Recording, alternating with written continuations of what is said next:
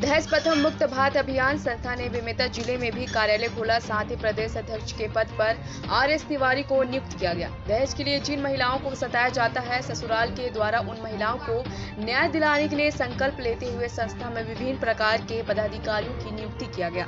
बेमेतरा प्रदेश committee द्वारा एक बैठक का आयोजन किया गया, जिसमें मुख्य सहभागिता राष्ट्रीय अध्यक्ष अर्चना शर्मा जी एवं शरद गुप्ता, संस्थापक प्रदेश अध्यक्ष आर एस तिवारी जी केदार साहू प्रदेश कोषाध्यक्ष कृष्ण कुमार साहू, प्रदेश महासचिव दीप चंद्र साहू, प्रदेश संगठन महामंत्री घनश्याम कार्य समिति सदस्य, सुखचैन जिला कार्य समिति सदस्य, दीपिका सेन जिला अध्यक्ष बेमेता एवं अन्य पदाधिकारी मौजूद रहे।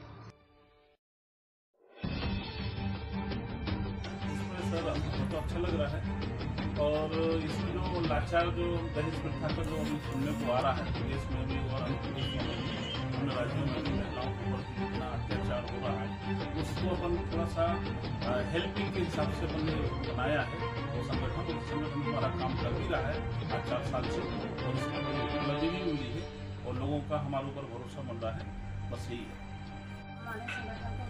महिलाएँ दहेज पर प्रताड़ित हो रही हैं, सताई जा रही हैं जिनकी कहीं सुनवाई नहीं होती। उनके लिए हमारी एक मुहिम है, जो कि जिनकी कहीं मतलब जो हमारे पास मदद के लिए आएँगे, उनकी हम हर संभव मदद करेंगे।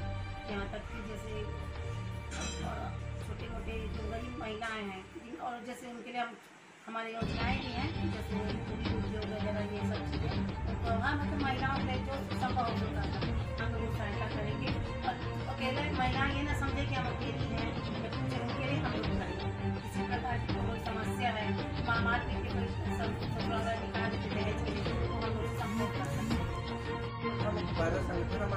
सत्रह में रजिस्टर्ड हुआ था। जिसे मैं मैंने उत्तर प्रदेश में ही पहले चलाना स्टार्ट किया था और आज जो संपूर्ण भारत में दहेज प्रथा के लिए महिलाएँ प्रताड़ित की जा रही हैं दिन प्रतिदिन महिलाओं की समस्याएँ बढ़ रही हैं और वर्तमान कोई भी सरकार राजनीतिक दल या राजनीतिक तत्व से हमारा कोई भी संबंध नहीं है।